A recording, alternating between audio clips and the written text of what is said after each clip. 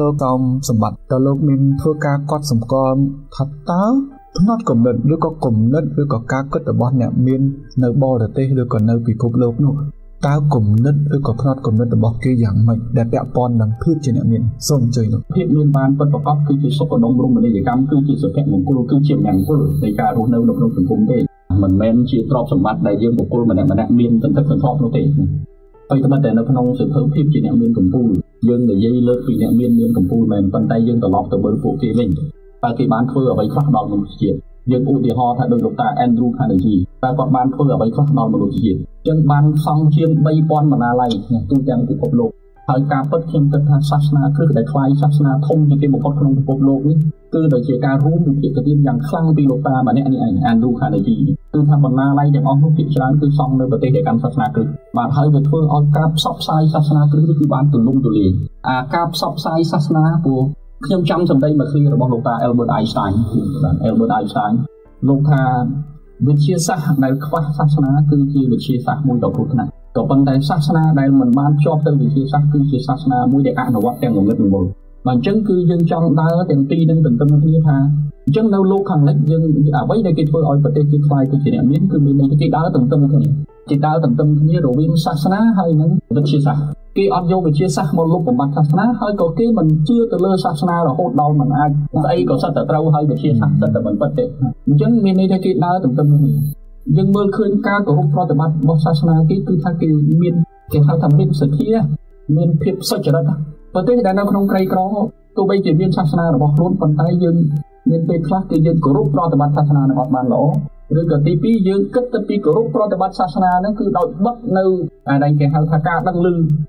នៅចំណេះដឹងនៅជំនាញនៅអានេះបច្ចេកវិទ្យាផ្សេងផ្សេងពីក្នុងពិភពលោកនេះអញ្ចឹងបើឲ្យខ្ញុំទាញថាតើនៅក្នុងផ្នត់កំណត់នៅក្នុងលោកខាងលិច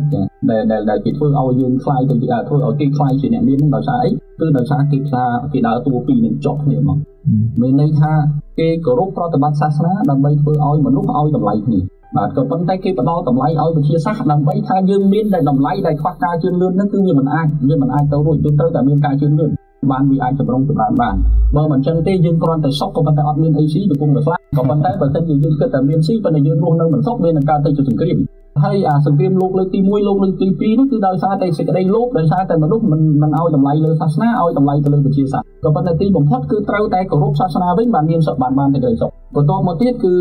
ភាពរស់រានមានជីវិតនៃពុទ្ធមនុស្សយើងវិញ ការពិតនៅក្នុងពិភពលោកបច្ចុប្បន្ននេះគឺមនុស្សយើងនៅសល់ពូជ3ចេញពី Homo sapiens មកប៉ុន្តែបានចែកទៅជាពូជ3ធំធំនៅក្នុងពិភពលោកទី1គេហៅថាជា Caucasian ទី2គេហៅថាជាពូជ Mongoloid ហើយនិងទី3គេហៅថាពូជ Negroid មនុស្ស3នេះមានសង្ខាន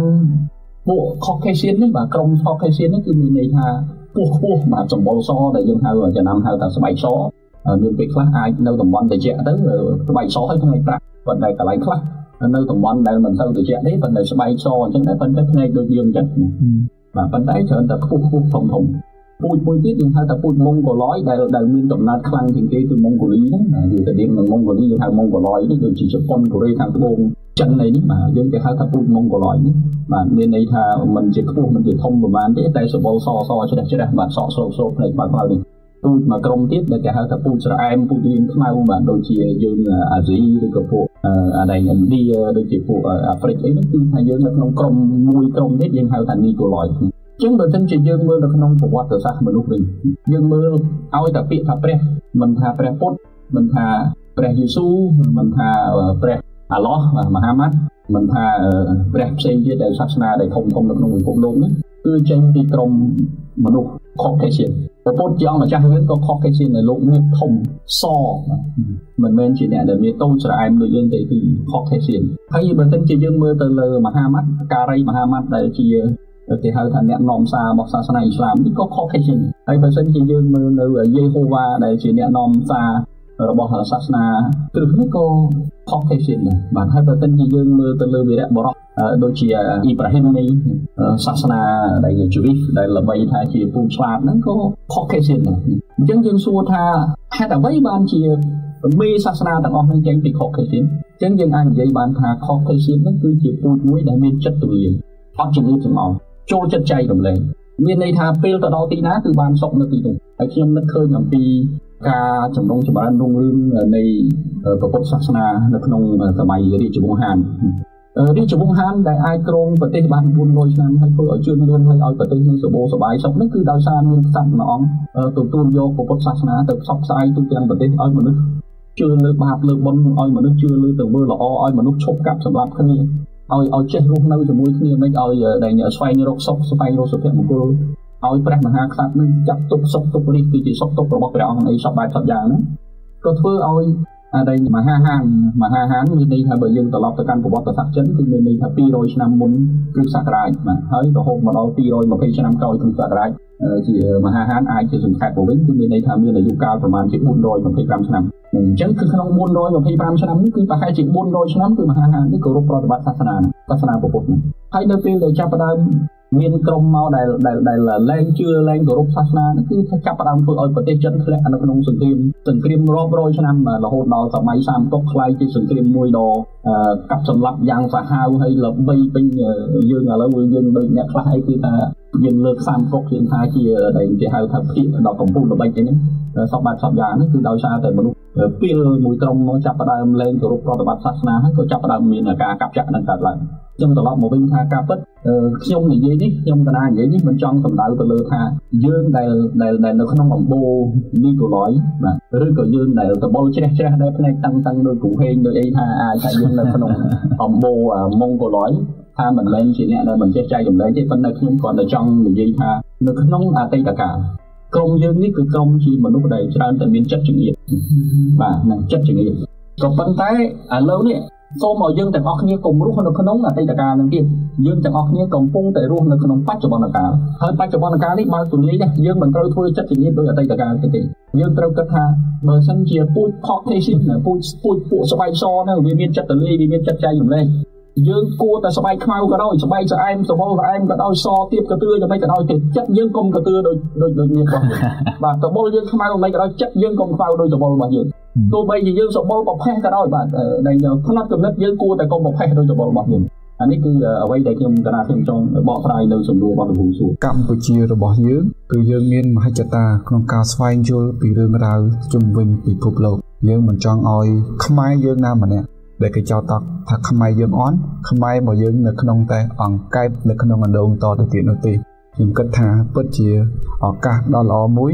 ដែលយើងរួមគ្នាក្នុងការកសាងសង្គមភាពជាអ្នកមាននៅចំនួនពួកយើងតាមរយៈដែលលោកសោមសម្បត្តិបានចែករំលែកពីពាក់ព័ន្ធនឹងភាពជាអ្នកមាននៅក្នុងពិភពលោករបស់យើងមានន័យថាមិនត្រឹមតែនៅកម្ពុជារបស់យើងទេ គឺនៅក្នុងពិភពលោករបស់យើងតើអ្នកមានគឺមានស្អីដែលសំខាន់ អ្វីដែលសំខាន់គឺមានន័យថាគេមានចិត្តធ្វើឲ្យមានភាពសុខដុមរបស់មនុស្សជាតិមានន័យថាការរស់រានដ៏សម្បូរសប្បាយរីករាយនិងរុងរឿងហើយជាពិសេសគឺការទាញយកវិជាសាស្ត្របូកនឹងសាសនាដោយមិនបំផ្លាញគ្នាទៅវិញទៅមកឬក៏មិនតឹងរឹងទៅគ្នាទៅវិញទៅមកហើយជាពិសេសដែលរកឃើញគំនិតចុងក្រោយនោះគឺថាអ្នកមានអ្នកអស្ចារ្យគឺជាមនុស្សដែលមានចិត្តទូលំទូលាយ ចូលចិត្តចែករំលែកនិងជួយគ្នាចឹងមិនថាពីអតីតកាលកម្ពុជារបស់យើងយ៉ាងម៉េចនោះទេ គឺពិតជាយើងមានឱកាសក្នុងការកសាងសង្គមមួយ ដែលយើងអាចចូលរួមចែករំលែកនិងអភិវឌ្ឍធ្វើឲ្យមនុស្សម្នាក់ម្នាក់ត្រូវតែមានគំនិតទូលំទូលាយទទួលយកការអភិវឌ្ឍទទួលយកការផ្លាស់ប្ដូរទទួលយកការរៀនសូត្រទទួលយកការធ្វើយ៉ាងម៉េចដើម្បីឲ្យមានឱកាសក្នុងការរីកចម្រើន យើងយើងឈានពីចំណុចទី1ដល់ចំណុចទី4ហើយដោយសារកត្តាពេលវេលាខ្ញុំសូមសម្រាប់រយៈពេល10នាទីដើម្បីសម្រួលអរិយាប័ត្រហើយលោកគ្រូខ្ញុំសូមអនុញ្ញាតថែមមួយម៉ាត់បើយើងមើលត្រឡប់ទៅមើលប្រវត្តិសាស្ត្រខ្មែរយើងខ្ញុំសូមថែមមួយម៉ាត់តាក់ទងជាមួយនឹងប្របាទជ័យវរ្ម័នទី7ដែលយើងចាត់ទុកថាជាមហាក្សត្រដែលល្បីជាងគេរបស់ព្រះរាជាណាចក្រកម្ពុជាយើងហ្នឹង គឺការពិតព្រះអង្គជាកម្ពុជាទី7នេះគឺធ្វើឲ្យមានសុខដុមរមណីយកម្មទាំងសាសនាហើយនិងទំនើបកម្មនៅក្នុងសង្គមចឹងសម័យនោះគឺសាសនាជឿនលឿនបំផុត ហើយការអភិវឌ្ឍទូទៅគឺជឿនលឿនបំផុតក៏ប៉ុន្តែយើងមើលកំហុសមួយហេតុអ្វីបានជាចាស់កំពុងខ្មែរធ្លាក់មកដំដាលរហូតរហូតមកដល់ឥឡូវនេះយើងកំពុងតែនាំគ្នាខំស្ដារឡើងវិញគឺយើងគិតមើលគ្រាន់តែផុតពីប្របាទរជ្ជកាលប្របាទជ័យម៉ាន់ទី7មកដល់ប្របាទជ័យម៉ាន់ទី8បងប្អូនខ្លួនឯងសោះគ្រាន់តែឡើងមកសោយរាជបានបានមកនៅក្នុងដៃដូរសាសនាពុទ្ធមកព្រាហ្មណ៍សាសនាគឺវាយបំបាក់ព្រះវាយបំបាក់មិនត្រឹមតែប៉ុណ្្នឹងទេសូម្បីតែរូបសំណាករបស់ប្រវត្តិជ័យមិនទី7ក៏ត្រូវវាយក្បាក់រហូតមកដល់រាល់ថ្ងៃយើងរកសំណាកពេញមកទូខ្លួនអត់មានទេមានតែមកកាត់ខ្លួនហើយអត់ទាំងមានទាំងដៃទៅទៀតដោយសារតែមិនអញ្ចឹងគឺបង្ហាញថាការគុំគួនសងសឹកវាធ្វើឲ្យយើងបរាជ័យតរាប់រាប់សិបចំនួនមកដល់ពេលនេះអញ្ចឹងយើងអត់ចង់ឲ្យមានកំហុសនឹងកើតឡើងតទៅទៀតទេបាទបាទអរគុណច្រើនចំពោះការចូលរួមគំនិតដ៏សំខាន់សំខាន់សម្រាប់ធ្វើការឆ្លោះបញ្ចាំងក៏ដូចជាយើងធ្វើការវិភាគពីគំនិតឬក៏ការគិតរបស់អ្នកមានមិនថានៅកម្ពុជា គឺនៅពិភពលោក សំណួរខ្ញុំចង់បដោតទៅលើតែអ្នកដែលមានទ្រព្យហើយនឹងអ្នកដែលមានលុយទេណាខ្ញុំអត់ចង់និយាយពីរឿងផ្នត់កំណត់អត់ចង់និយាយពីអីទេចង់និយាយថាមានទ្រព្យហើយមិនបានបានកំណាញ់បាទហើយមានទ្រព្យប៉ុណ្ណឹងហើយមិនបាននៅនោះណាហើយមានមានទ្រព្យប៉ុណ្ណឹងអាងតែខ្លួនមានមិនបានមើលអ្នកអ្នកក្រក៏ចង់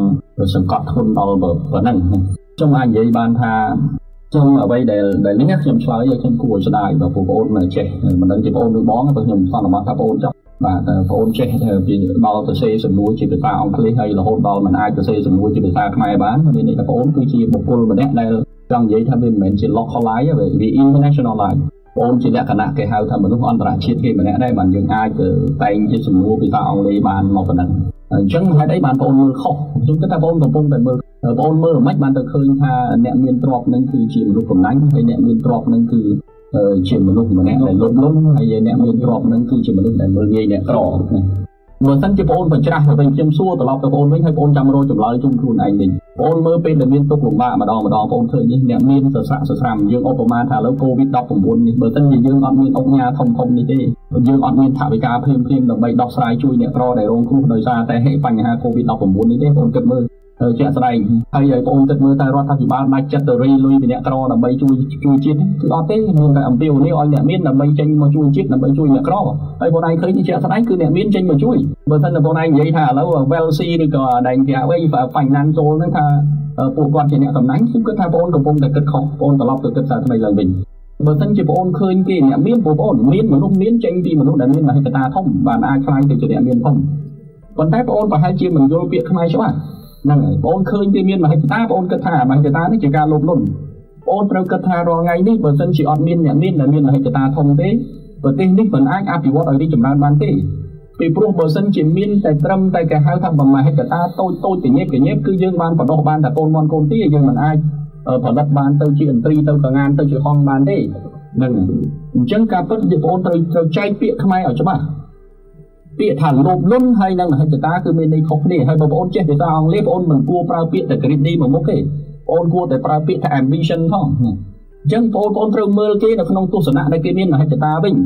បងឯងគិតមើលគេមានមហិច្ឆតាណាគេមានប៉ុណ្ណឹងហើយគេនៅខិតខំប្រឹងប្រែងរាល់ថ្ងៃគេខំបង្កើតមុខរបរបន្ថែមគេខំបង្កើតការងារឥឡូវបងឯងជួមើលតើការងារដែលពួកគាត់បង្កើតទៅប្រហែលលានការងារនៅប្រទេសរបស់យើងហើយអ្នកណាគេអ្នកបង្កើត ហ្នឹងហើយបើអត់មានពួកគាត់ជាអ្នកដាក់មហិច្ឆតាទេតើសួរថាការងាររាប់លាននេះយើងទេយើងយើងអាចយើងអាចមានការងារធ្វើទេបាទបងប្អូនឥឡូវមើលបើអ្នកមានយករួចខ្លួនទាំងអស់តែគ្នាបងឯងបាច់កត់ខ្យល់ពេញប្រទេសហ្នឹងហ្នឹងហើយហើយបើអង្គើចោរកម្មលួចឆក់ប្លន់ហ្នឹងគឺថារដ្ឋាភិបាលនេះជួយក្បាលងាប់អញ្ចឹងបងប្អូនត្រូវគិតអាហ្នឹងវិញហើយទៅចុងក្រោយនេះបងប្អូនថាអ្នកមានកំណាញ់ កំណាញ់នឹងមិនហ្មងបងប្អូនចង់យល់ថាមិនមានន័យថាទៅតរលុយបានដោយចែកគេគ្រប់តែគ្នាបានបងប្អូនហៅថាអ្នកមានចិត្តល្អឬយ៉ាងណាអឺពីមិនមែនទេព្រោះការការពិតខ្ញុំនឹកឃើញសម្ដីមួយឃ្លារបស់អតីតមហាសេដ្ឋីមេជីកូបាទកាឡូស៊ុនគាត់ថាយើងមិនអាចជួយអ្នកក្រដោយយកលុយទៅឲ្យទេបាទគឺយើងជួយអ្នកក្រដោយយកកំណត់ទៅឲ្យហ្នឹងពីព្រោះបាទវិធីដើម្បីជួយអ្នកក្រឲ្យខ្លាយទៅជាអ្នកមានជីវភាពធូរធារមិនមែនយកលុយទៅចែកទេ ពីព្រោះចែកចាយអស់ចែកចាយអស់ហើយបើសិនជាកំណត់ជីមរុនវិញក៏ថាបើសិនជាអ្នកឯងយកមនុស្សលុយ1លានដុល្លារឲ្យមនុស្ស100នាក់ម្នាក់1លានម្នាក់1លានបើសិនជាមនុស្សនឹងកំណត់វាមិនកើតទីបំផុតលុយ100លាននឹងមកនៅលើតែមនុស្ស2 3នាក់វិញតែដដែលអា90អ្នកជាងទៀតវានឹងខ្លាយទៅជាអ្នកក្រវិញដដែលព្រោះវាអត់កំណត់បាទហើយបងប្អូនឯងនិយាយថាបងឯងនិយាយតែរឿងលុយអត់និយាយរឿងកំណត់មានន័យបងឯងរៀនសូត្រទៅអីបើបងឯងរៀនសូត្រតែយកកំណត់នឹងមិនយកកំណត់នឹងមកប្រើដដែលបងឯងចេះប៉ុណ្ណឹងមិនក៏ជាងចងល់ម្លេះនេះខ្ញុំចង់សួរទៅវិញសូមអរគុណបាទ បាទអរគុណច្រើនហើយខ្ញុំគិតថាពេលខ្លះដោយសារតែយើងកំណត់ថាអ្នកមាន នៅក្នុងរូបភាពមិនល្អនេះដូចខ្ញុំនិយាយអញ្ចឹងគឺវាធ្វើឲ្យយើងបិទផ្លូវឱកាសអត់ចង់ខ្លាយជាអ្នកមានហើយបើសិនជាយើងអត់ចង់ខ្លាយជាអ្នកមានតើធ្វើម៉េចឲ្យយើងខ្លាយជាអ្នកមានចឹងខ្ញុំគិតថាវិធីដែលល្អបំផុតមិនថាយើងមានបណ្ណាទេគឺយើងត្រូវតែកសាងភាពជាអ្នកមានរបស់យើងឲ្យខ្ពង់ខ្ពស់ទើបយើងអាចឈរទៅក្នុងសង្គមមួយដែលអាចប្រកួតប្រជែងជាមួយនឹងពិភពលោកម្ដងថ្ងៃនេះ អ្នកដែលមាននៅពិភពលោករបស់យើងគឺមានរហូតដល់លុយរាប់រយពាន់លានដុល្លារទៅហើយអញ្ចឹងបើសិនជាខ្មែររបស់យើងគ្មានមហិច្ឆតាក្នុងការកសាងភាពអស្ចារ្យកម្រិតពិភពលោកទេនោះគឺប្រហែលជាយើងមិនអាចប្រកួតប្រជែងនៅក្នុងពិភពលោកដ៏ទូលំទូលាយនៃការប្រកួតប្រជែងពេញលេញនោះទេក្រុមហ៊ុនធំធំមួយចំនួនគឺគឺឈានទៅដល់ក្រុមហ៊ុន trillion ដុល្លារទៅហើយប៉ុន្តែយើងត្រូវមើលល្អសូមឲ្យបងអូនទៅមើលអ្នកមានដែលជាលោក Andrew Carnegie តើលោកបានធ្វើអ្វីខ្លះសម្រាប់មនុស្សជាតិហើយសូមបងអូនទៅមើលលោកអ្នកមានរបស់ Bill Gates តើគាត់បានជួយអ្វីខ្លះសម្រាប់ពិភពលោករបស់យើងបើសិនជាខ្ញុំរាប់តែពី3ចំណុចបងអូននឹងយល់ឃើញថាគាត់មានគុណសម្បត្តិដ៏អស្ចារ្យដែលបានជួយពិភពលោករបស់យើងឧទាហរណ៍ដូចជា Bill Gates គាត់បានក្លាយជាអ្នកមានលេខ1ហើយគាត់បានព្រួយផ្ដើមឲ្យអ្នកមានទាំងឡាយនៅលើលោកជានេះចូលរួមជាមួយនឹងក្រុមរបស់លោកដោយសន្យាបរិច្ចាគប្រាក់យ៉ាងតិច50%ដើម្បីចូលទៅក្នុងមូលនិធិសពប្រសធរដើម្បីជួយពិភពលោករបស់យើងហើយជាពិសេសលោកក៏បានបង្កើតឲ្យមានមូលនិធិ Melinda Bill Gates នឹងគឺបានជួយឲ្យ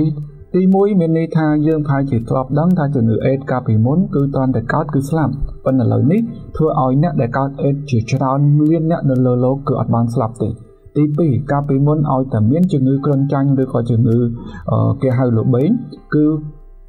អ្នកទាំងអស់នោះគឺពិតជាស្លាប់ប៉ុន្តែឥឡូវនេះស្ទើរតែជំងឺនេះស្ទើរតែបាត់ពិភពផែនដីរបស់យើង ហើយលោកបានចូលរួមជាច្រើនក្នុងការកាត់បន្ថយអត្រាមរណភាពរបស់កុមារដែលកាលពីមុនកុមារឆ្លងកាត់មិនរួចពីជំងឺជាពិសេសការឆ្លងកាត់ជាក់វ៉ាក់សាំងនៃជំងឺទាំងឡាយឥឡូវនេះយើងធ្វើឲ្យអត្រានៃកុមារគឺរស់រានមានជីវិតច្រើនបំផុតនៅលើលោកយើងនេះខ្ញុំមិនចង់អួតថាពីរឿងអ្នកមាននោះទេប៉ុន្តែយើងត្រូវតែចង់ឲ្យឆ្លោះបញ្ចាំងឲ្យបងអូនអាចទៅពិចារណាលើកក៏មើលជាពិសេសយើងទាំងអស់គ្នា សូមមេត្តាថ្ងៃនេះយើងនិយាយពីគំនិតឬក៏ការគិតរបស់អ្នកមានគឺដើម្បីបើកចំហអ្វីទៅជាគំនិតឬក៏ការគិតរបស់អ្នកមានពិតប្រាកដបើទោះបីជាយើងមានអ្នកមានខ្លះគាត់អាចថាកំណាញ់ដូចជាការពិត ប៉ុន្តែយើងក៏ចង់បើកបង្ហាញផ្លូវថាវិធីណាដែលជួយកសាងឲ្យភាពជាអ្នកមាននឹងវាខ្ពង់ខ្ពស់អត់ដងអដំដែលយើងប្រាថ្នាចង់ឃើញខ្មែររបស់យើងคล้ายទៅជាអ្នកមាននៃសេចក្តីប្រាថ្នាអ្នកមានដែលចូលរួមជួយជំរុញចម្រើនដល់កម្ពុជារបស់យើងអ្នកមានដែលបានជួយធ្វើឲ្យប្រទេសជាតិរបស់យើងមានមោទនភាពទៀតផង ចឹងសូមអធិស្ឋានចំពោះបងអូនបើសិនជាមានការឆ្លើយលើសលួសគឺយើងគ្រាន់តែជាការផ្ដល់គំនិតសម្រាប់ការពិចារណាប៉ុណ្ណោះយើងមិនបង្ខំថាបងអូនត្រូវតែទទួលយកនៅអ្វីយើងយើងធ្វើការបកស្រាយនោះទេដោយសារកត្តាពេលវេលាមានកំណត់ខ្ញុំសូមឲ្យលោកគ្រូខឹមសុខេមេត្តាចូលរួមបញ្ជូនសារចុងក្រោយដែលសំខាន់ថា បើយើងធ្វើដំណើរឆ្ពោះទៅអ្នកមានហើយនោះតើគំនិតអីដែលយើងត្រូវតែចងចាំបំផុត ហើយគំនិតអីដែលយើងត្រូវតែជៀសវាងបំផុតបើអាចតែមួយមួយក៏បានសូមសូមជួយសូមអរគុណអឺសម្រាប់ជាគំនិតរបស់ខ្ញុំជូនទៅបងប្អូនទាំងអស់គ្នាគឺបើគឺធ្វើជាបុគ្គលដែលប្រកាន់ភ្ជាប់នៃចិត្តទូលាយហើយត្រូវយល់ថាខ្លួនរស់នៅដើម្បីសេចក្តីចម្រើនរបស់អ្នកដទៃហើយខ្ញុំនិយាយសារជូនទៅបងប្អូននេះគឺខ្ញុំកំពុងធ្វើ ហើយបើសិនជាបងប្អូនចាំមើល10ឆ្នាំទៀតចាំយើងជួបគ្នាម្ដងទៀតតើតើខ្ញុំធ្វើអីបាទនៅក្នុងសង្គមខ្មែរយើងនៅក្នុងប្រទេសកម្ពុជាយើងនេះអញ្ចឹងអាហ្នឹងគឺអ្វីដែលយើងគិតថាយើងត្រូវគួរបើខ្ញុំត្រូវតែធ្វើអញ្ចឹងតែបងប្អូនអាចគួរអឺពីព្រោះយើងពិចារណាដោយខ្លួនឯងហើយអ្វីដែលមិនធ្វើគឺខ្ញុំមិនធ្វើជាអ្នកមានលុយច្រើនដោយអំពើទុច្ចរិតទេអត់បានដោយទុច្ចរិតទេអាហ្នឹងគឺចំណុចសំខាន់ណាស់ពីព្រោះហ្នឹងគឺជានីតិរបស់ព្រះ ហើយបើយើងជាអ្នកសិក្សាយើងជាអ្នកស្រាវជ្រាវយើងជាបញ្ញវន្តយើងឃើញផ្លូវច្បាស់ប៉ុណ្ណឹងហើយបើយើងមិនដើរអាហ្នឹងវាមិនដឹងថាឲ្យអ្នកណាគេដើរវាមិនបាទហើយក្នុងនាមខ្ញុំជាអ្នកអប់រំជាម្ចាស់សាលាកម្រិតឧត្តមសិក្សាមួយដែរអញ្ចឹងគឺខ្ញុំត្រូវតែដើរផ្លូវត្រូវអត់ដើរផ្លូវខុសទេបាទសូមអរគុណនៅពេលដែលខ្ញុំទៅធ្វើការធ្វើជានារីអាកាសចរដែលធ្វើការនៅលើយន្តហោះ maximum មានន័យថាច្រើនបំផុតគឺគេឲ្យយើងធ្វើការហោះហើរ ជាជាស្តង់ដារអន្តរជាតិណាតែ21ថ្ងៃទេមានន័យថាយើងអាចធ្វើការហោះហើរនឹងមិនអាចលើសពី21ថ្ងៃហ្នឹងទេក្នុងមួយខែតែ30ថ្ងៃហ្នឹងអញ្ចឹងមានអ្នកខ្លះគឺគាត់ជ្រើសរើសយកតែ10 15ថ្ងៃអីទេគេប៉ុណ្ណឹងដូចថាគាត់ relax enjoy ណាចាព្រោះការងារជាការងារមួយដែល good pay ហើយ traveling around the world ដែរចាមានឱកាសច្រើនអញ្ចឹងតែសម្រាប់ខ្ញុំដោយសារដូចយើងវឹកហាត់មក អឺតាំងពីដើមដែលយើងចាប់ផ្ដើមមកហ្នឹងគឺជាតែរឿងធ្វើការទៅមុនម៉ោងលើសម៉ោងហ្នឹងអឺអញ្ចឹងទទួលយកគេហៅថារហូតដល់21ថ្ងៃរហូតដល់មានមតិរិះគន់ថាមុខលុយវាទៅអញ្ចឹងវិញណាប៉ុន្តែมันធ្វើឲ្យខ្ញុំដូចថាបាក់ទឹកចិត្តវាព្រោះតាមពិតវាវាធៀបផ្សំមានថាជាអតចរិតរបស់យើងដែល យើងជួយចិត្តធ្វើការឲ្យលើសឲ្យហ៊ូសនឹងផងហើយ at the same time យើងមាន revert ត្រឡប់មកវិញមានន័យថាមានលុយត្រឡប់មកវិញ ពេលបនទៀនថ្ងៃស្អែកថ្ងៃអាទិត្យអី schedule គេតែងតែធ្វើការផ្លាស់ប្ដូរជាមួយយើងសម្រាប់ខ្ញុំ offer ស្អែកអាទិត្យបនទៀនគឺពិសេសបនទៀនគឺមានន័យថាគុណរហូតទៅដល់គេហៅថា double pay triple pay អញ្ចឹងត្រូវបានពាក្យចោលប្រកាន់វាមុខលុយទៀតចាប៉ុន្តែទាំងអស់នោះគឺវាវាមិនបានសពបញ្ជាក់តែមកជ្រុងនឹងមួយតែខ្ញុំទទួលស្គាល់ថាវាធៀបផ្សំនៃអឺ នៃរឿងនឹងដែរពីព្រោះយើងមិនមែនមកលុយប៉ុន្តែយើងមើលឃើញថាវាមាន revert ត្រឡប់មកវិញជាការលើកទឹកចិត្តចាអញ្ចឹងវាជាទម្លាប់របស់យើងផងហើយអ្វីដែលជាទម្លាប់ហ្នឹងវាមានអំណោយត្រឡប់មកវិញចាអញ្ចឹងវាគឺជាការលើកទឹកចិត្តមួយអញ្ចឹងវាអត់មានអីជាគ្រឿងចម្លែកទេដែលគោលការណ៍របស់គាត់គាត់លើកមកថាអឺប្រាប់យើងថាធ្វើឲ្យលើសហើយធ្វើឲ្យហួសហ្នឹងគឺនឹងអាចខ្លាយទៅជាបុគ្គលមួយហើយចាហើយការវិនិយោគលើខ្លួនឯងហ្នឹង ត្រឡប់ទៅពាក្យខ្ញុំវិញមិនដែលគេហៅថាកុំធ្វើជាមនុស្សទឹកពេញកែវកន្លះកែវរហូតអញ្ចឹងកាលណាកន្លះកែវវាមានកន្លះយូរថាក្រោមកន្លះទៀតព្រោះយើងភ្លេចណាចំណេះដឹងយើងវាមិនមែនយូរយូរទៅគេហៅថាដូចអឺស្អីគេសលៀងកបិតសលៀងយូរយូរទៅមុតមែនប៉ុន្តែសឹកតែឃើញកបិតពីអឺតាំងតៅប្រពន្ធនេះហើយយូរទៅអឺមុតមែនប៉ុន្តែគឺគឺវាអស់យើងដូចគ្នាដែរប៉ុន្តែយ៉ាងហោចគឺយើងនៅតែមានការវិនិយោគ លើខ្លួនឯងជាពិសេសគឺសំដៅទៅលើគ្រឿងចំណេះដឹងហ្នឹងហើយចាចំណេះដឹងចំណេះធ្វើការអនុវត្តហ្នឹងចាចំណុចទី3ដោតលើរឿងតែមួយខ្ញុំបានលើកយ៉ាងច្រើនដែរនៅក្នុងចំណុចមុនហ្នឹងចាចាអញ្ចឹងបុគ្គលមនុស្សម្នាក់ម្នាក់គឺយើងត្រូវតែធ្វើអីមានគេហៅថារយឃើញ identity របស់ខ្លួនឯងចាគឺជាកលឹះនៃការជោគជ័យមួយចាហើយទី4អឺប្រាថ្នាខ្ពស់ ប្រាថ្នាខ្ពស់វាជាជារឿងមួយដែលល្អតែជាបុគ្គលដែលខ្លះជោគជ័យក៏គាត់អាចមានប្រាថ្នាខ្ពស់នឹងដែរប៉ុន្តែបុគ្គលនេះគេហៅថាភាពជោគជ័យឬក៏អ្វីដែលនេះទទួលបានគេហៅដោយចៃដន្យអញ្ចឹងបើសិនជាយើងចង់ខ្លាយទៅជាបុគ្គលមួយដែលទទួលបានការជោគជ័យភាពមានបានដោយមិនមែនជារឿងចៃដន្យទេយើងត្រូវតែហ៊ានមានក្តីប្រាថ្នាអត់អស់លុយប៉ុណ្ណឹងត្រូវមានក្តីសម័យ អត់អស់ថ្មប៉ុណ្ណឹងហេតុអីបានយើងមិនហ៊ានសម័យតែសង្គមជាក់ស្ដែងវាមិនមែនអញ្ចឹងទាំងអស់ហើយមានកុំថាឡើយតើសម័យអត់ទាំងហ៊ានសម័យផងប្រាថ្នាក៏អត់មានប្រាថ្នាផងហើយនៅពេលដែលយើងមានក្តីប្រាថ្នាខ្លះគេសោយទៀតអឺខ្ញុំធ្លាប់ខ្ញុំខ្ញុំខ្ញុំដឹងច្បាស់ខ្ញុំអត់បញ្ចេញឈ្មោះទេ មានគេហៅបេក្ខភាពដែលឆ្នើមមែនតើនៅក្នុងរដ្ឋា leading គាត់ក៏ជាសមាជិកនៃសមាគមសាធារណកម្ពុជាដែរខ្ញុំចាំបានថាកាលពី7ឆ្នាំមុន គាត់ជាបុគ្គលដែលសាមញ្ញហើយមកទប់ពេលគាត់និយាយអត់មានត្រូវជ្រុងជ្រោយអីទេហើយបើយើងនិយាយពីចំណេះដឹងរូបរាងលក្ខណៈសម្បត្តិរបស់គាត់ហាក់បីដូចជាវាមិនសមស្របនៅអ្វីដែលប្តីប្រាថ្នារបស់គាត់ទេអាជីពការងារឬក៏អាជីវកម្មរបស់គាត់ជជែកគ្នាក្នុងចំណោមមនុស្សស្រីច្រើនហ្នឹងខ្ញុំថ្ងៃអនាគតខ្ញុំនឹងចង់ខ្លាយជាបុគ្គលមួយដែលនិយាយអ្នកណាក៏គេស្ដាប់ខ្ញុំដែរ ហើយមែនតើណាក្តីប្រាថ្នារបស់ខ្ញុំចង់ខ្លាយជានាយករដ្ឋមន្ត្រីតែឥឡូវខ្ញុំឃើញគាត់ on the way ខ្ញុំចង់និយាយថាចេញពីបុគ្គលមិនហើយគឺសោគ្រប់គ្នាប៉ុន្តែសម្រាប់ខ្ញុំដោយសារខ្ញុំខ្ញុំអាចនិយាយថាយើងវារៀង advanced knowledge ហើយនឹងយើងមានអា positive mindset ណាហើយដែលយើងតែងតែវឹកហាត់ខ្លួនយើងថាមនុស្សគ្រប់គ្នាគឺមានសិទ្ធិក្នុងការដែលប្រាថ្នាមានក្តីសម័យរបស់គេអញ្ចឹងខ្ញុំអត់មានការសោចប៉ុន្តែវាធ្វើខ្ញុំរៀងភ្ញាក់ខ្ញុំថាចំនេះលុយវិញគាត់បើ ឯងដូចរៀងជានរណាដែរតែមិនតន់ហ៊ានគិតដល់អញ្ចឹងទេដីប្រាថ្នាសម័យខ្ពស់អីដែរគាត់តែចង់ខ្លាចជាបុគ្គលដែលប្រសើរជាងថ្ងៃដែលយើងពងឲ្យឈរហ្នឹងឯងទៅថ្ងៃអនាគតតែទស្សនដីនេះសបើមអស់ចាចង់ខ្លាយទៅខ្លាំងខ្លាយជាបុគ្គលមួយដែលនិយាយទៅគឺគឺមានការទទួលស្គាល់ហើយនឹងស្ដាប់ហើយខ្លាយជានាយករដ្ឋមន្ត្រីអញ្ចឹងខ្ញុំឃើញដំណើរគាត់លើហ្នឹងម្ដងថ្ងៃនេះ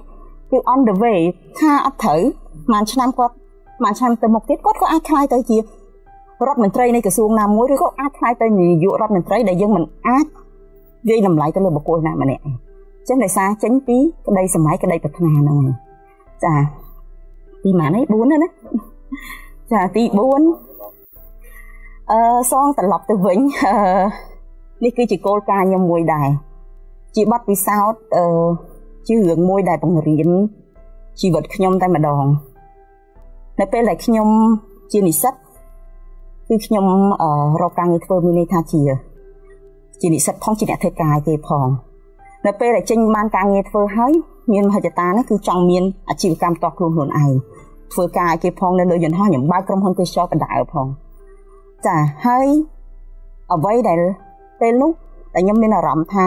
សង្គមជាពិសេសសង្គមប្រទេសខ្មែរយើងហ្មងកាលពីអឺ15ឆ្នាំមុនឬក៏16ឆ្នាំមុននោះភាគច្រើននៃ មនុស្សទាំងអស់ខ្ញុំអត់និយាយនៅលោកខាងក្រៅទេគឺក្នុងជាពិសេសនៅក្នុងប្រទេសកម្ពុជាយើងគឺមានចិត្តចង្អៀតចង្អល់ខ្លាំងណាស់កុំថាឡើយការចែករំលែកដោយវេទិកាថ្ងៃនេះតែយើងមកអង្គុយនិយាយដោយដោយ free នេះចាសូម្បីតែខ្ញុំសួរថាអឺអូប៊ិចនេះសរសេរស្រួលណាស់ល្អណាទិញនៅណាដែរគាត់ប្រកាសជារកហេតុផលណាមួយដើម្បីបញ្ជាទៅចម្លើយដែលឆ្លើយពីព្រោះគាត់មិនចង់ឲ្យយើងទទួលបាននៅអ្វីដែលល្អដោយគាត់ឬក៏មានអ្វីដែល ដែលដូចគាត់មានអញ្ចឹងសម្រាប់ខ្ញុំពេលនេះខ្ញុំមានអារម្មណ៍មួយថាអឺហេតុអីបានជាដូចថាអ្នកដែលចំនួនមុនឬក៏ដែលថាគាត់មានបានជាងឬក៏មានចំណេះដឹងជាងគាត់មានចិត្តឆ្អៀតឆ្អល់គាត់មានចិត្តកំណាញ់ណាស់អញ្ចឹងវាធ្វើឲ្យខ្ញុំប្រាប់ខ្លួនឯងថាបើសិនជាខ្ញុំគឺជាបុគ្គលដូចគាត់ហ្នឹងគឺខ្ញុំនឹងធ្វើឲ្យប៉ះពាល់ទៅដល់អារម្មណ៍អ្នកដែលនឹងដូចខ្ញុំកំពុងមានអារម្មណ៍ឥឡូវអញ្ចឹងវាផ្ដោះផ្ដោះគំនិតឲ្យខ្ញុំថា ខ្ញុំគឺខ្ញុំត្រូវតែ do the best មានន័យថាខ្ញុំត្រូវធ្វើអ្វីដែលខ្ញុំគួរត្រូវតែធ្វើអស់លទ្ធភាពសមត្ថភាពរបស់ខ្ញុំហើយគឺខ្ញុំត្រូវចែករំលែកទៅវិញអញ្ចឹងបើអ្នកខ្លះគេស្ដាប់មកថាអូយមហិមាមែនកាលពី10ឆ្នាំជាងមុនអត់សូវមានស្ត្រីដែលធ្វើអាជីវកម្មទេហើយក៏អត់សូវមានស្ត្រីដែលដើរហើរខាងក្រៅដែរខ្ញុំគឺដើរហើរជំនាញពិភពលោកមកដល់ពេលបច្ចុប្បន្ននេះជាង100គេហៅតំបន់នៅលើពិភពលោកហើយអញ្ចឹងមានពាក្យជាច្រើនត្រូវបានរិះគន់ប៉ុន្តែអាការធ្វើដំណើរអីទាំងអស់ហ្នឹង គឺវាបានជះឥទ្ធិពលនៅគេហៅថាបើកការ open mindset របស់យើងដើម្បីយកវិលត្រឡប់មកវិញគឺលើការចែករំលែកហ្នឹងឯងអញ្ចឹងខ្ញុំបានតាំងចិត្តខ្លួនឯងមួយថាមិនថាមានការរិះគន់មានការវាយប្រហារយ៉ាងណាទេខ្ញុំឲ្យតម្លៃទៅលើការចែករំលែកឬការផ្ដល់ត្រឡប់ទៅវិញហ្នឹងគឺវាជារឿងសំខាន់មួយដែលខ្ញុំបានលើកនៅមុននឹងតិចតែថាបើសិនជាចង់ខ្លាយជាអ្នកមានហើយឲ្យមានថែមទៀតបើសិនជាយើងខ្វះនៅចំណុចហ្នឹង ខ្ញុំមិនជឿថាអាចខ្លាយជាអ្នកមានហើយរក្សាអ្នកមាននឹងអាចខ្លាយទៅជាមានលើនឹងទៀតទេអញ្ចឹងការចែកម្លែកមិនសំដៅទៅលើតែទ្រព្យសម្បត្តិទេយើងមានចំណេះចែកចំណេះទៅយើងមានបទពិសោធន៍យើងចែកបទពិសោធន៍អញ្ចឹងការចែកម្លែកទៅវិញមានចំណេះដឹងចំណេះធ្វើបទពិសោធន៍ហើយនឹងថវិកាបើមិនយើងមានរហូតទៅដល់ថវិកាទៀតហើយថវិកាមិនចាំបាច់ថាចាំខ្ញុំមានទេពីព្រោះអត់ដឹងថាប្រមាណដែលហៅថាមានទេ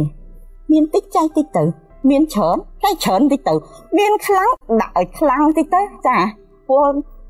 កើតមកទៅទេត្រឡប់ទៅវិញប្រកាសជាអត់អាចយកអីទៅវិញទេចាអញ្ចឹងមកយើងមានអាកំណត់អស់ហ្នឹងខ្ញុំគិតថាដូចបុគ្គលគាត់អញ្ចឹងដែលគាត់អាចខ្លាយជាបុគ្គលអញ្ចឹងខ្ញុំសង្ឃឹមថាខ្ញុំក៏ខ្លាយទៅជាបុគ្គលដែលជាបុគ្គលឬគាត់អញ្ចឹងដែរចាអរគុណហើយជូនតាមសំណើនៅគោលការណ៍ទាំង5នេះខ្ញុំគិតថានឹងជូនគិតថាលោកជំទាវអុកញ៉ាដែល អាចថាយើងចាត់ទុកថាជាមនុស្សល្អហើយតោះតែយើងខិតខំកសាងភាពខ្ពង់ខ្ពស់នៃភាពជាមនុស្សល្អរបស់យើងបើសិនជាយើងដូចខ្ញុំតែងតែនិយាយអញ្ចឹងថាបើសិនជាយើងធ្វើជាអ្នកក្រល្អហើយនឹងធ្វើជាអ្នកមានល្អបើមានសិទ្ធិជើតើយើងគួរចិត្តមួយណាហើយយើងនៅកម្ពុជាស្មាតោះយើងសម្បូរអ្នកក្រល្អមានន័យថាយើងក្រហើយយើងចេះល្អហើយចង់ឲ្យអ្នកមានធ្វើអញ្ចេះធ្វើអញ្ចោះប៉ុន្តែធ្វើម៉េចទៅមានសិទ្ធិបញ្ជា ប៉ុន្តែបើពេលយើងធ្វើជាអ្នកមានល្អយើងចង់ធ្វើមិនគឺស្រេចតែយើងអញ្ចឹងបាទអរគុណច្រើនចំពោះការចូលរួមរបស់វាគ្មិនទាំងពីរខ្ញុំគិតថាពីសំណួរទី1រហូតដល់ទី5នេះគឺហាក់បើដូចជាចាប់ផ្ដើម open នៅភាពជាអ្នកមានទាំងកម្រិតជាតិរបស់យើងក៏ដូចទៅកម្រិតអន្តរជាតិឬក៏កម្រិតពិភពលោកអញ្ចឹងអ្វីដែលសំណួរទី6គឺជាសំណួរដ៏សំខាន់ហ្នឹងគឺយើងចង់បានថាតើ ធ្វើយ៉ាងម៉េចដើម្បីឲ្យមនុស្សគ្រប់គ្នាអាចคลายទៅជាអ្នកមានពីមុនយើងអាចនិយាយថា on the way ធ្វើទៅវាមានទើសនេះទើសនោះវាលំបាកមនុស្សមានសិទ្ធអាចคลายជាអ្នកមានប៉ុន្តែมันអាចមានគ្រប់គ្នាទេ យើងកាលពីជំនាន់នោះយើងអត់តាន់បាន open បើកចំហពាក់ព័ន្ធនឹងរឿងភាពជាអ្នកមានយើងក្រោយពីយើង open ហើយខ្ញុំចង់ឲ្យវាខ្មុនទាំងពីរដោតយកចិត្តទុកដាក់បន្តិចថាថ្ងៃនេះ តើធ្វើម៉េចដើម្បីធានាហ្មងថាបើឲ្យយើងធ្វើឧទាហរណ៍ថាយើងមិនយើងថាមានអ្នកមានមហិច្ឆតាអីមានក្តីសម័យដល់អត់អស់លុយណាមានក្តីប្រាថ្នាដោយវាអត់អស់ថ្មអីទេអញ្ចឹងយើងនាំគ្នាប្រាថ្នាវិញថាអូតតាថ្ងៃនេះបើយើងគេឲ្យធ្វើជានាយករដ្ឋមន្ត្រីដឹកនាំធ្វើម៉េចឲ្យមនុស្សគ្រប់គ្នាអាចក្លាយជាអ្នកមានតើឲ្យមនុស្សនឹងត្រូវធ្វើអ្វីខ្លះខ្ញុំជឿថាពេលនោះមានសកម្មភាពជាក់លាក់កើតឡើង គឺលទ្ធផលក៏វាអាចកើតឡើងឬមួយក៏យើងអាចនិយាយបានថាយើងជាមេតបដែលត្រូវដឹកនាំរឿងប្រជាជនមួយឬក៏ជារដ្ឋមន្ត្រីមួយត្រូវតែដឹកនាំប្រជាជនមួយឲ្យមនុស្សគ្រប់គ្នាត្រូវតែមានឱកាសគ្រប់គ្នាអាចក្លាយជាអ្នកមានយើងខ្ញុំចង់ឲ្យថាយកវេទិកាឬក៏ទិវាភាពជាអ្នកមាន នៅថ្ងៃទី7ខែ7នេះចង់ឲ្យបង្កើតជារូបមន្តសកម្មភាពដែលវាគ្មិនយល់ថាបើធ្វើតាមនឹង គឺប្រជាជាតិរបស់យើងនឹងអាចคลายទៅជាអ្នកមានគ្រប់គ្នាហើយខ្ញុំអត់ចង់ឲ្យគិតរឿងខុសត្រូវទេឲ្យតែវាគ្មិនយល់ថាជារឿងត្រឹមត្រូវទុកឲ្យប្រវត្តិសាស្ត្រឬក៏ទុកឲ្យអ្នកដែលធ្វើទុកឲ្យពេលវេលាជាអ្នកបង្ហាញទៅចុះអញ្ចឹងតើវាគ្មិនទាំងពីរមួយណានឹងត្រូវចាប់ដើមមុនអូខេអញ្ចឹងសូមអរគុណអឺគិតពិតខ្ញុំត្រូវប្រើពាក្យមួយគឺថាអ្នកក្រគូចង់មានជាមហិច្ឆតាមួយ ដើម្បីឲ្យយើងខ្លាចជាអ្នកមានបានទី1តរយៈភាពរវាងចំណូលនិងចំណាយធ្វើម៉េចឲ្យចំណាយគឺទៀមចំណូលចំណុចគោលទី1តែត្រូវធ្វើម៉េចត្រៀមខ្លួនចំណុចទី2ត្រូវវិនិយោគទៅលើចំណេះដឹងការអប់រំបើយើងចង់ខ្លាយជាអ្នកជោគជ័យខ្លាយជាអ្នកមានបើអត់មានចំណេះដឹងទេគឺឱកាសរបស់យើងនឹងគឺទាបណាស់អញ្ចឹងរូបមន្តគឺត្រូវរៀន ព្រោះខ្ញុំសង្កេតឃើញថាបងប្អូនជាប្រវត្តិយើងនៅជនបទនៅពេលដែលគាត់មានជីវភាពខ្វះខាតគាត់អត់ចង់ឲ្យកូនគាត់នឹងទៅរៀននេះគាត់យកកូនទៅជួយលក់នេះលក់នោះម៉ែឪដើម្បីរលុយមកគ្រប់គងជីវភាពប្រចាំថ្ងៃដើម្បីដោះស្រាយបញ្ហាហ្នឹងខ្ញុំសរុបពរថាឲ្យគាត់យល់ល្អដល់ឱកាសឲ្យកូនទៅរៀនកុំខត់ដំណើរកូនយកកូននឹងមកប្រើឲ្យជួយរលុយពីច្រើនគឺអញ្ចឹងឲ្យកូនជួយរលុយដើម្បី គិតគង់ជីវភាពចាំថ្ងៃអញ្ចឹងគាត់ត្រូវគិតឡើងវិញបើគាត់ចង់ឲ្យអនាគតកូនចៅគាត់ខ្លាយជាអ្នកមានសូមកុំប្រអត្តនានៃការរៀនរបស់កូនត្រូវលើកទឹកចិត្តព្យាយាមជំរុញកូនឲ្យទៅសាលាដើម្បីទទួលចំណេះដឹងកាលណាយើងមានចំណេះដឹងយើងអាចរកលុយបានហើយដឹងថាបើអត់ចេះចំណេះចំណេះដឹងយើងរកលុយតាមរយៈការប្រើកម្លាំងប្រើកម្លាំងប្រោយញើសឈាមគិតថារកលុយបានប្រហែលក្នុងមួយថ្ងៃ ប៉ុន្តែបើយើងប្រើចំណេះដឹងប្រើគំនិតប្រើចំណេះប្រើជំនាញអាចរកលុយបានច្រើននេះវិធីមួយដើម្បីចាក់ចេញពីភាពក្រីក្រគឺចំណេះដឹងហ្នឹងឯងសំខាន់មែនតើហ្មងហើយមួយទៀតអាលុយបើយើងចំណូលតិចជាងថាចំណូលធំជាងចំណាយប៉ុន្តែយើងអត់ចេះសន្សំលុយអត់បានទេត្រូវចេះសន្សំលុយទៀតពេលយើងមានលុយក្នុងដៃពេលមានឱកាសណាមួយយើងអាចយកលុយនោះទៅវាយកគឺថាដីចាស់ណាលក់បតនមានលុយក្នុងដៃទិញយក ទិញឲ្យចំណេញអាហ្នឹងជាឱកាសមួយដែរហើយព្យាយាមធ្វើម៉េចការងារកុំធ្វើឱកាសងារលេងលេងត្រូវចេះតស៊ូកុំបោះបង់ចឹងចំណុចប្រមាណនេះគឺចំណុចគោលដែលខ្ញុំផ្ដល់ជាពន្លឺផ្ដល់ជាសារជូនដល់បងប្អូនហើយយុវជនជំនាន់ក្រោយបើគាត់ចង់ចាក់ផុតពីភាពក្រីក្រចង់ខ្លាយជាអ្នកមានសូមយកចំណុចគោលប្រមាណចំណុចដែលខ្ញុំលើកមិញហ្នឹងយកទៅអនុវត្តទៅបាទ ហើយខ្ញុំអាចសរុបមកអាចថាមានចំណុចសំខាន់ទី1គឺមិនថាស្ថិតនៅក្នុងទីតាំងណាត្រូវតែឲ្យមានចំណូលធំជាងចំណាយមានន័យថាធ្វើម៉េចដើម្បីឲ្យ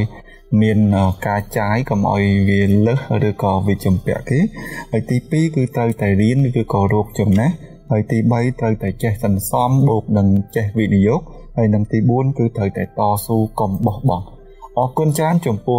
រូបមន្តទាំងនេះខ្ញុំគិតថាក៏សាមញ្ញងាយងាយបើសិនជាអាចធ្វើបាននោះយើងនឹងមានជំនឿថាពួកគាត់នឹងផ្លាស់ប្ដូរវាសនាពីក្រទៅមានជាមិនខានចុះចំពោះលោកអញ្ញាទៀតមុំសុភាវិញមើលរូបមន្តសកម្មភាពអីដែលតានាថាឲ្យតែធ្វើគឺដឹងតែមានណាហើយបើគាត់មិនធ្វើទុកឲ្យសេរីភាពរបស់គាត់ទៅដឹងតែអញ្ចឹងខ្ញុំ គឺមិនបាច់ចំណាយពេលយូរឆ្នាំពេកនេះមកពីមុនណាប៉ុន្តែឥឡូវឆ្លងតាមគេហៅបាត់ពិសោធន៍ជីវិតក៏ដូចជាអឺការសិក្សាបន្ថែមយល់ដឹងបន្ថែមឲ្យដល់វ័យមួយរៀងគេហៅចំណាស់នៅក្នុងវិស័យចំនួនក៏ដូចជាគេហៅការអភិវឌ្ឍខ្លួនណាណាអញ្ចឹងខ្ញុំលើកជាជារូបមន្តសំខាន់សំខាន់សាមញ្ញប៉ុន្តែគិតថាអាចប្រើទៅមានសិទ្ធិភាពហើយ បើសិនជាត្រូវបងប្អូនណាដែលគាត់យល់ដូចខ្ញុំបានលើកហ្នឹងទេក៏យកទៅអនុវត្តទៅហើយកុំភ្លេចតាក់ទងប្រាប់ខ្ញុំផងថាវាមានសិទ្ធិភាពប៉ុណ្ណាហើយបើសិនជាមិនត្រូវទេគឺបោះចោលចាថាបោះចោលហើយជួយកែលម្អហើយធ្វើនៅក្នុងមធ្យោបាយផ្សេងហើយប្រាប់ខ្ញុំវិញដើម្បីខ្ញុំរៀនតាមដើម្បីឲ្យខ្លាយទៅជាបុគ្គលដែលប្រសើរជាងបុគ្គលខ្ញុំថ្ងៃហ្នឹងទៅទៀតអឺសម្រាប់ខ្ញុំសាមញ្ញអឺការចេញប្រកដើមចេញពីខ្លួនឯង ត្រូវមានការសម្រេចចិត្តមួយអញ្ចឹងណាចាសម្រេចចិត្តមួយថាតើឥឡូវខ្លួនឯងហ្នឹងនៅក្នុងដំណាក់កាលមួយណាហើយត្រូវបោះចំហៀនទៀតទៅណាហើយដែលធ្វើរឿងទាំងអស់នឹងបានខ្ញុំចង់ឲ្យបដោតទៅលើរឿងមួយឈប់ស្អប់អ្នកមានកាលណាតែយើងចាប់ផ្ដើមឈប់ស្អប់អ្នកមានឈប់រិះគន់អ្នកមានមិនថាជាពិសេសអ្នកមានចំណេះដឹងចំណេះធ្វើបបិសាសនឹងមានទ្រព្យទេអញ្ចឹងគឺយើងចាប់ផ្ដើមមានចិត្តលាយក្នុងការ ស្វែងយល់ពីអ្នកមានហ្នឹងហើយអ្វីដែលគេធ្លាប់ធ្វើនោះគឺមានមិនមានរូបមន្តណាមួយសិតតែកំណត់មកហើយគ្រប់គ្នាត្រូវតែធ្វើតាមហ្នឹងទៅមានដូចចឹងឯងប៉ុន្តែយ៉ាងហោចណាស់វាគឺជាពន្លឺយ៉ាងហោចណាស់វាគឺជាពន្លឺហើយយ៉ាងហោចណាស់អត់ចាំបាច់អស់លុយទៅសាលារៀនទេហើយទោះបីជានៅសាលារៀនក៏មិនអាចមានមុខវិជ្ជាណាមួយឲ្យបង្រៀនឲ្យបរៀនថាឲ្យធានាថារៀនអឺដើម្បីខ្លាយទៅជាសិទ្ធិសន្យាថាបើមិនសិទ្ធិទេខ្ញុំសងលុយគុណជា100 ក៏វាអត់មានដែរចាអញ្ចឹងចាប់ផ្ដើមគឺឈប់ស្អប់អ្នកមានហ៊ានពីអ្នកមាន ចាហ្នឹងគឺគឺគឺទី1ធំផុតទី2ចាប់ផ្ដើមរាប់អានមិនថាមកថាឈប់ស្អប់ទេណាយើងក៏ត្រូវជ្រើសរើសទៀតជ្រើសរើសជា role model ហ្នឹងវាជារឿងមួយហើយតែចាប់ផ្ដើមគេហៅថាខ្លួនយើងនេះទៅរាប់អានពោះ អ្នកមានកាន់តែមានកាន់តែសាមញ្ញនេះខ្ញុំនិយាយអ្នកមានពិតប្រកបណាបើអ្នកមានខ្ញុំមិននិយាយនេះចង់និយាយថាសំដៅទៅវាបហាថាអ្នកមានហើយមិនពិតប្រកបឲ្យយំណៃមិនទេប៉ុន្តែអ្នកដែលមានពិតប្រកបគាត់មានទាំងគេហៅថាទឹកចិត្តល្អទៀតគឺมันកំណាញ់ក្នុងការរាប់អាននេះមិនថាជាបុគ្គលដែលមានឋានៈទាបជាងគាត់អាយុតិចជាងភេទផុសភេទប្រុសឬក៏ភេទស្រីគឺគាត់មានចិត្តទលាមួយក្នុងការរាប់អានឲ្យតែយើងតាំងចិត្តច្បាស់លាស់មួយថា យើងដាក់ចិត្តថាទៅរាប់អានពួកគាត់អញ្ចឹងគឺជាកលឹះមួយទៀតចំណេះដឹងមួយទៀតដែលអត់ចាំបាច់ចំណាយដើមទុនជាលុយតែយើងត្រូវចំណាយទឹកចិត្តរបស់យើងភាពស្មោះត្រង់របស់យើងហើយនឹងពេលវេលារបស់យើងក្នុងការវិនិយោគទៅរៀនហើយនឹងទៅស្គាល់ពីពួកគាត់ហ្នឹងហើយរូបមន្តទី3ដែលសំខាន់បំផុតគឺអត្តចរិតរបស់យើងតែម្ដងអញ្ចឹងបើកាលណាយើងខ្លួនយើងគឺជាបុគ្គលមួយដែលមាន អត្តចរិតមួយដែលល្អគេចូលចិត្តស្មោះត្រង់ចំពោះខ្លួនឯងស្មោះត្រង់ចំពោះអ្នកដែលអ្នកដតីខ្ញុំខ្ញុំនិយាយមុននឹងអញ្ចឹងវាគឺជាដើមទុនមួយដែលនឹងអាចមានឱកាសច្រើនចេះជាងអ្នកដែលគាត់មិនបានយល់ពីរឿងបញ្ហាហ្នឹងអញ្ចឹងសាមញ្ញផ្លូវសរុបមកវិញគឺមាន3ធំធំជប់ស្អប់អ្នកមានរាប់អានអ្នកមានផ្លាស់ប្ដូរអត្តចរិតខ្លួនឯងហ្នឹងឲ្យខ្លាយទៅជាបុគ្គលមួយដែលគេជួយចិត្តដែលគេស្រឡាញ់ដែលគេផ្ដល់ឱកាសឲ្យ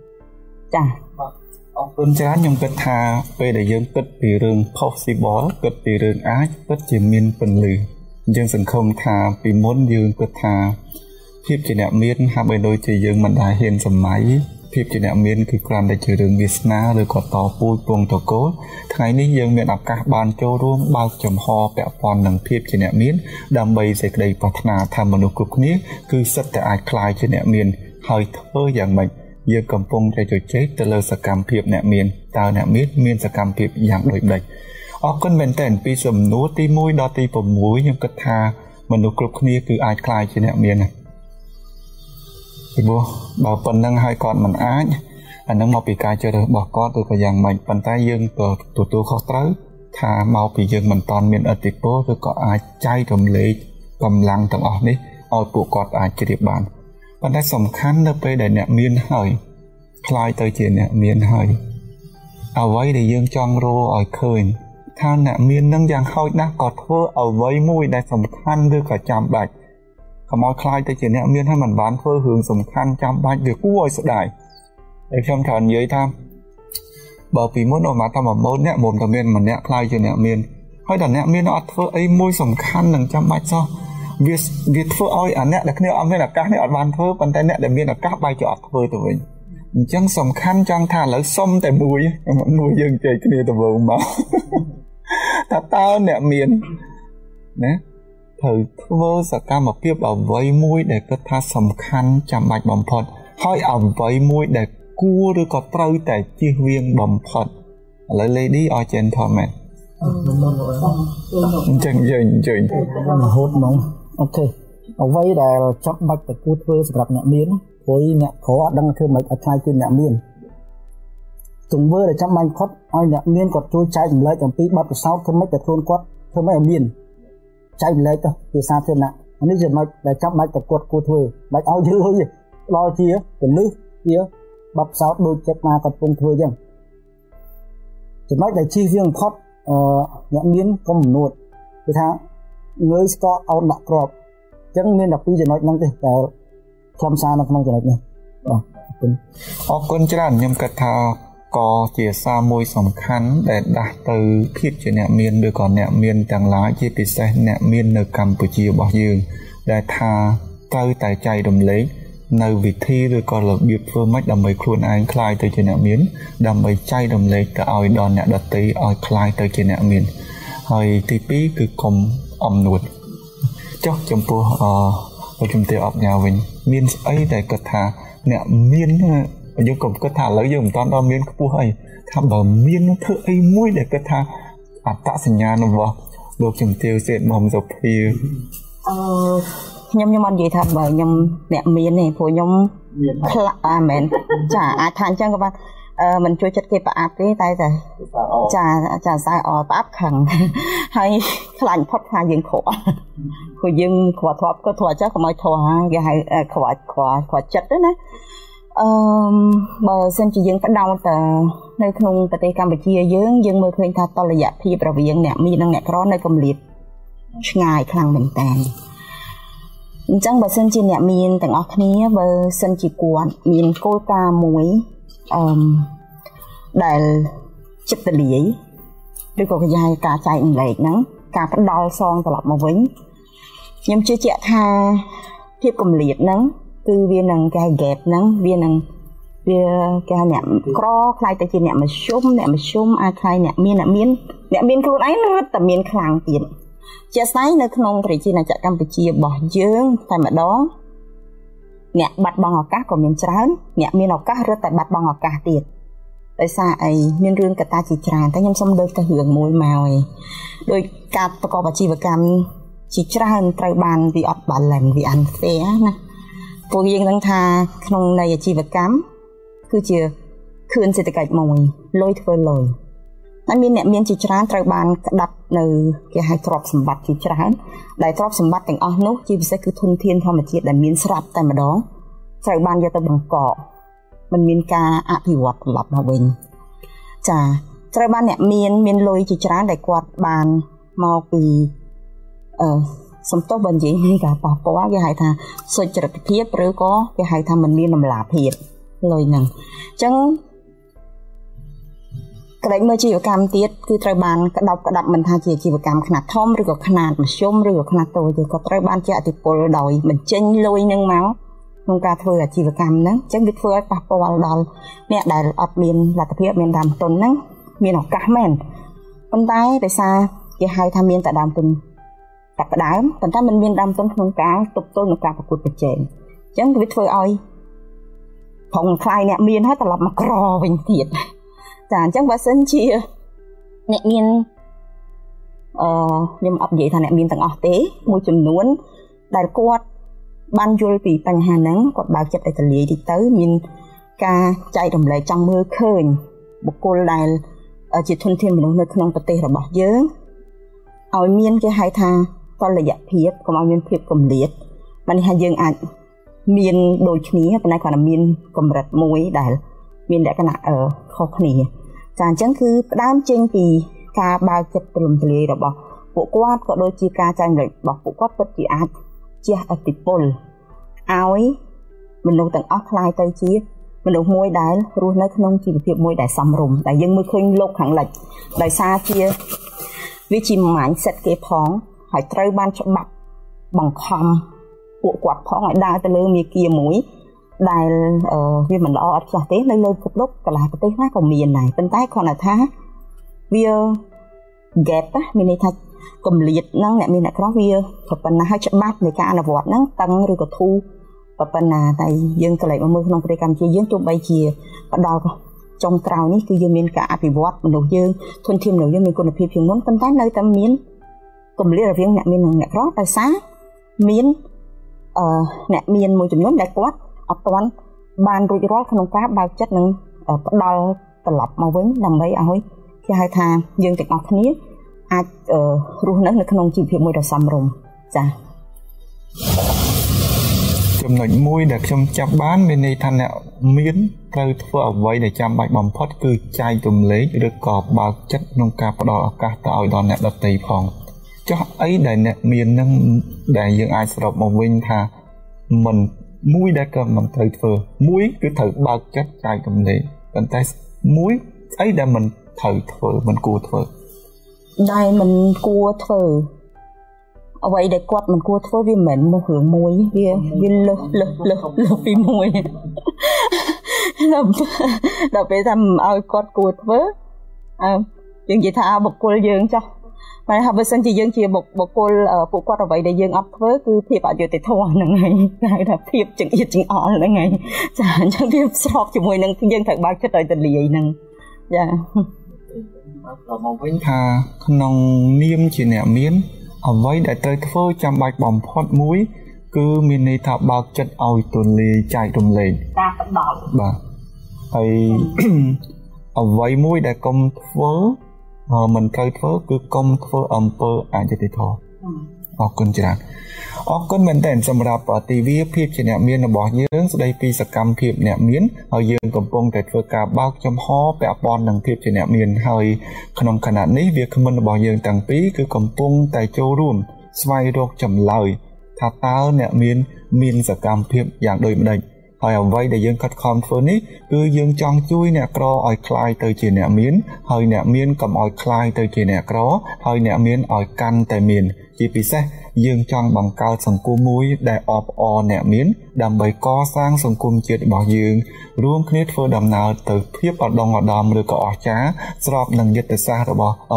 អឺស្របនឹងចក្ខុវិស័យរបស់រាជរដ្ឋាភិបាលរបស់យើងក្នុងការកសាងប្រទេសជាតិរបស់យើងឲ្យคล้ายទៅជាប្រទេសអ្នកមាននៅក្នុងឆ្នាំ2030ក៏ដូចជា2050អញ្ចឹងអរគុណមែនទែនសម្រាប់វាគ្មិនទាំងពីរដែលបានចូលរួមហើយខ្ញុំមានជំនឿថាទោះបីជាមានអ្វីដែលវាអាចលើសលួសដោយអចេតនាណាមួយក៏ដោយ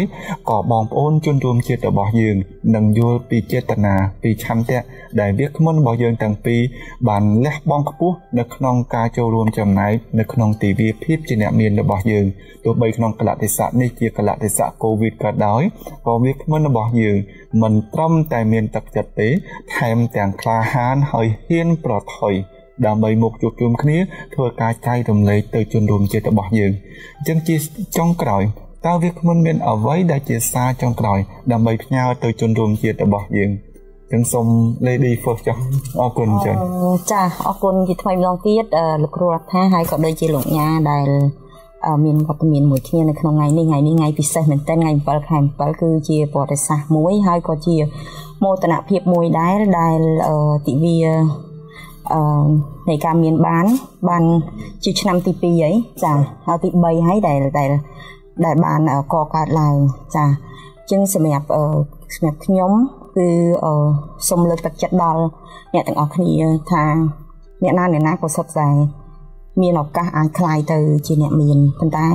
កុំភ្លេចថាអ្វីអ្វីគឺត្រូវផ្ដើមចេញពីខ្លួនយើងអ្វីអ្វីគឺផ្ដើមចេញពីការសម្រេចចិត្តរបស់យើង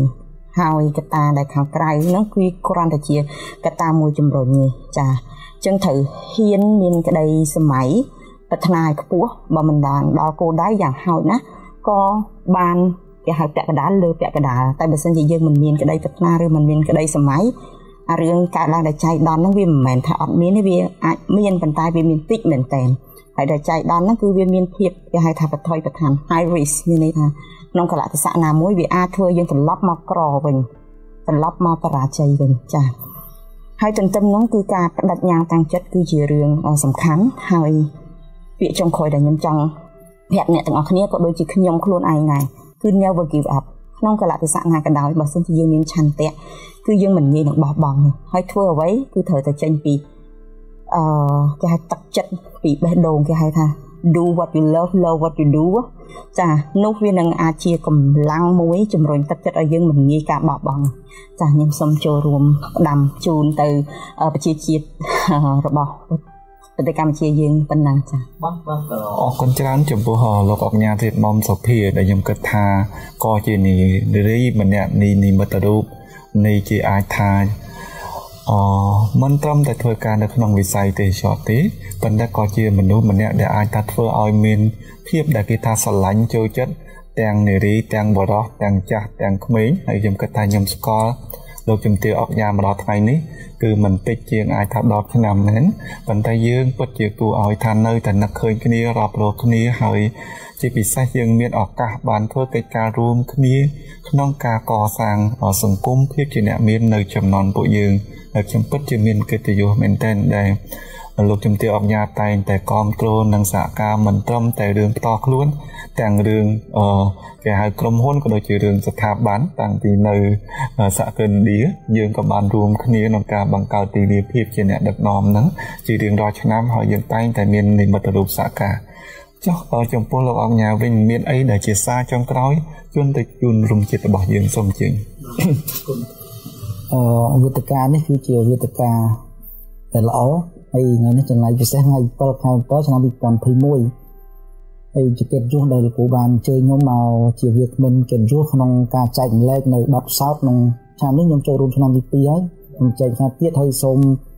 ជម្រាបដល់បងប្អូនកំពុងទស្សនាផ្ទាល់និងអ្នកមើលឡើងចាក់ផ្សាយឡើងវិញផង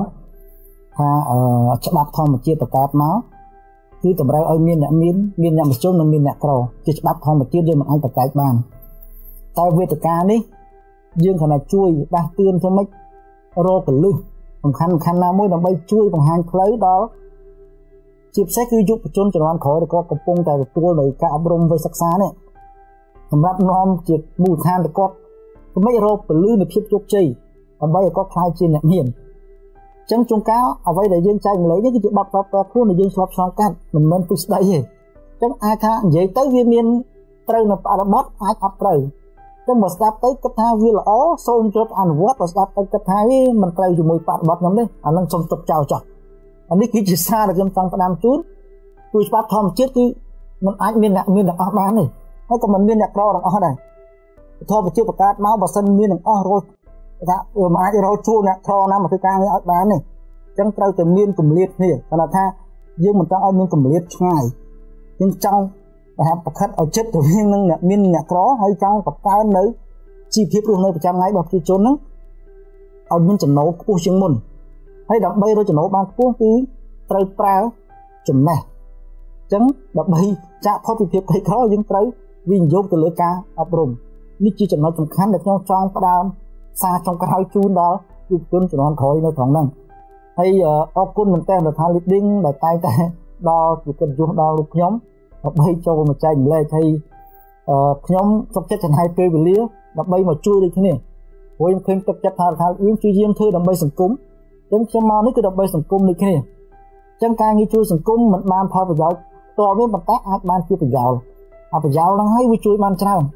ហើយសង្ឃឹមថាឆ្នាំក្រោយៗមានវេទិកាអីជើញយកមិនល្អល្អមកចូលរួមឲ្យបានច្រើនហើយគ្រប់គ្រងឲ្យវេទិកានេះមាន ជារៀងរហូតអត់ឲ្យបាត់ទេមានប៉ុណ្្នឹងអរគុណគ្រូ